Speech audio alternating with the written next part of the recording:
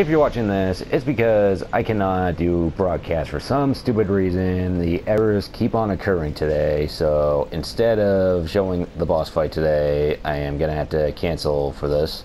I'm going to have to go and check this whole entire area, then eventually make my way towards the boss. So, I don't know if I'll broadcast it or just show it how like I showed Alonne, but right now I cannot be broadcasting on this, unfortunately. So, that's all I gotta say. Thanks for watching, and see you on the next broadcast.